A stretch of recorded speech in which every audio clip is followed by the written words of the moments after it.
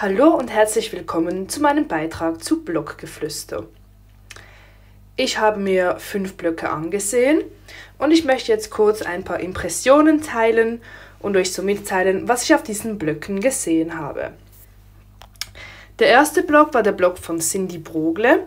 Da habe ich zum einen eine sehr tolle Anleitung gefunden zum Erstellen eines Projektes auf Scratch.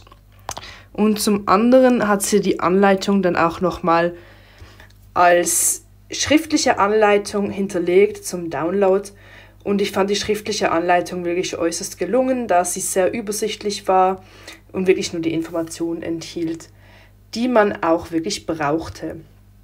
Der nächste Blog war der Blog von Andriana Arsic.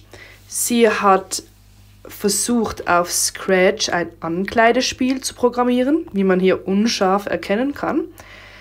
Ähm, jedoch ist es ihr nicht gelungen, so wie sie sich vorgestellt hat. Deswegen hat sie uns einfach mal den Code hinterlegt, der auch sehr komplex ist, da sie sehr lang daran programmiert hat. Sie empfiehlt auch selber, diesen Code nicht zu verwenden für, in, für den Unterricht in einer Schulklasse, aber ich denke mir, man könnte das als Zusatzarbeit geben und die Schüler vielleicht einfach mal diesen Code erstellen lassen, denn es ist ja trotzdem irgendwie gelungen, das Projekt einfach nicht nach den Vorstellungen von Andriana. Aber ich könnte mir vorstellen, das als Zusatzarbeit einzusetzen. Der nächste Beitrag, den ich kommentieren möchte, war ein Beitrag auf dem Blog von Noemi Thomann. Es handelt sich dabei um eine Jahresplanung, die man hier auch noch grob erkennen kann. Sie hat die Jahresplanung in Monate eingeteilt, was sehr gut für die Übersicht war. Und auch der Aufbau war sehr gut und das Ganze mündet in einem tollen Projekt. Das fand ich sehr gelungen. Und auch ihr zweites Projekt ähm, die interaktive Geschichte von Lena. Ähm, fand ich sehr toll und anregend. Und ich kann mir sehr gut vorstellen, als Kind auch so eine Klickgeschichte ansprechend zu finden oder dass ich sie ansprechend gefunden hätte als Kind. Und das fand ich auch sehr gut gemacht. Das nächste, was ich euch vorstellen möchte oder kurz einen Blick darauf werfen möchte, ist ein Projekt von Aline Alt, ein Scratch zu Musik. Und sie hat gezeigt, wie man auf Scratch Musik erstellen kann oder Musik machen kann, ähm, beziehungsweise wie man ein Instrument programmiert sie hat das sehr gut gemacht und das fand ich auch gelungen und das hilft mir sicher, wenn ich selber mal etwas programmieren möchte.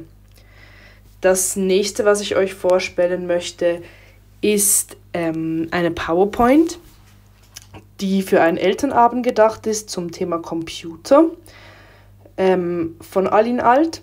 Und das hat sie sehr gut gemacht. Ich finde die PowerPoint wirklich sehr ähm, übersichtlich und gut strukturiert und man findet auch noch ähm, schriftlich hinterlegt von Aline ähm, die Aussagen, die sie am Elternabend unbedingt treffen möchte und auch das finde ich sehr gut gemacht.